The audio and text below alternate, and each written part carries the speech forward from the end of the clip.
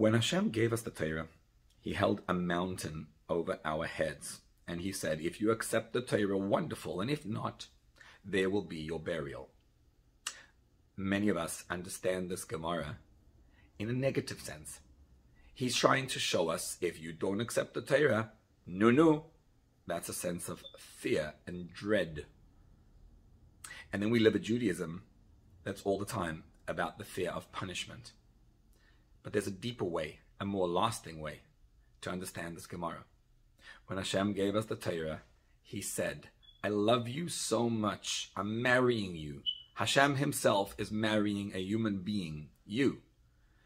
And when you get what that means, the love is so overpowering that you realize if I don't take this, I'm finished.